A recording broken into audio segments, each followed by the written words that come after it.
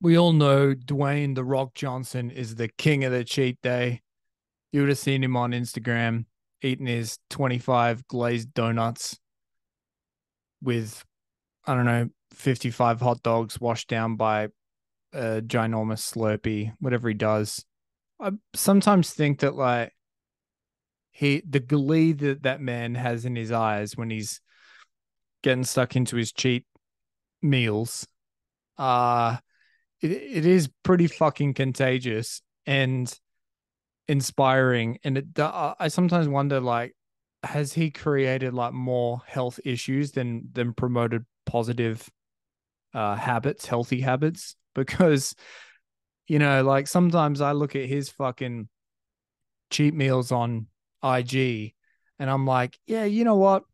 I did half heartedly walk for 15 minutes twice this week.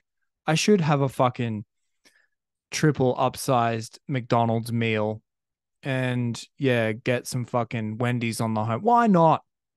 I deserve it because I'm a bad bitch. Like what versus because and then you see him in the gym and he's fucking roided up to the to his Samoan tits and he's fucking throwing things around like the Hulk. And you're doing you're walking around like a pigeon in your back garden being like yeah we basically burnt the same calories. So let's cheat it up bitch. I don't think that's the way it works. Uh but it seems like a cheat day is is a popular thing now in this image obsessed world that we live in myself included. I'm fucking glancing at the mirror a few times a day plotting, scheming, measuring, analyzing, rating, figuring out what could be done differently, what could be done better. And some people incorporate a cheat meal or a cheat day or cheat day rather into their schedule as a way to kind of boost uh the their entire productivity to feed the beast. If you work hard, you need a reward. As the modern day philosopher Jerry Seinfeld says if you sit down, give yourself a cookie. If you do the work, you need to reward yourself. And um I think that works, but I'm gonna propose something fucking insane here. Why don't you go? Why don't you roll with a cheat decade? Why not fucking be be everything you want to be without shame for 10 fucking years.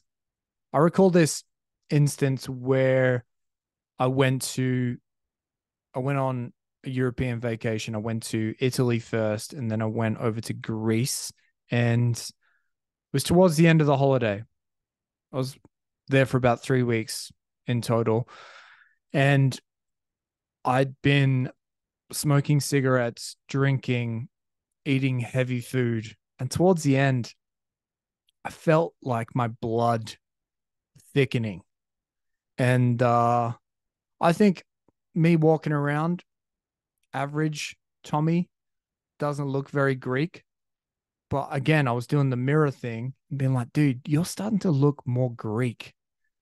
And I felt myself kind of like warping and shaping, kind of turning into a little bit of a, a Grecian monster. And I liked it. I I liked the thickening of the blood. I was like, holy fuck, I'm I'm going through some type of weird transformation here. And um I don't know if anyone's experienced this. I think that like everyone understands the feeling of being hungover, being a weekend warrior. Uh, when you're a, a young person and you work hard during the week you fucking go nuts on the weekend and you have t- horrific hangovers, but you've got plans and you only have a X amount of time to ingest drink and drugs. So you just get on with it on the weekends and your body goes through a big fucking uh change going from like sober and getting good sleep during the week working hard on a schedule to like just abs- absolute debauchery.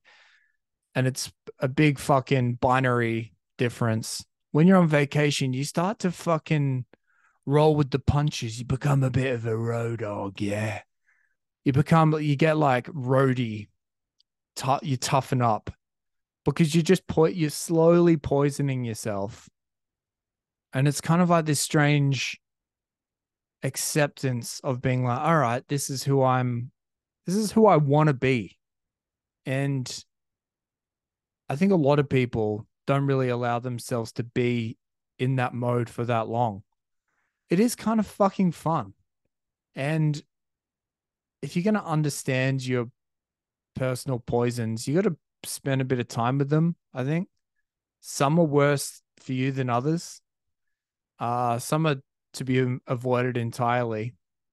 But the things you like to cheat with, give yourself fucking 10 years. I'm I'm telling you, you, you won't regret it. Fuck it out. I'm gonna get I'm gonna get slandered. I'm gonna get sued for this podcast. Uh but yeah, I don't know. This only works if you're young, by the way. I think um and you don't have too many responsibilities and perhaps not a serious job. so maybe there's some of you out there who fit within this slim demographic. But yeah, allow yourself to become the monster at the end of the decade, the things that you're like, oh, um, they, I really like that shit, but um, I've had ten years of it nonstop. By that point, you've really fucking given it a good caning, and you're like, I'm ready to hang up my boots when it comes to fucking glazed donuts or, or whatever the whatever the the shiny precious object you're chasing is as opposed to the people who keep the devil lingering in their house, being like, Sundays, 2 p.m., I'm going full Dwayne the Rock Johnson and getting stuck in. It's basically just been like, hey, Lucifer, come come live with me. And not even really understanding who he is. Being like, that mysterious fucker keeps trying to bend me over and fuck me in the ass, unlubricated, raw, with his red devilish penis. As opposed to if you've been around fucking old Lu- Lucy Babes for 10 years. Do you remember that time in Santorini? We got really fucked up. Like you, it becomes the devil becomes your buddy if you spend a lot of time with him and you know his tricks and you're like, yeah, fucking hell, dude. I'm sick of you and you're sick of me. Time to fucking live apart for a little while. Cheat decade. Something to consider as opposed to this bullshit once a week thing. Really cheat it up, learn what you actually like a lot and let it try and kill you. If it kills you, maybe you will have had some interesting things happen to you during the decade.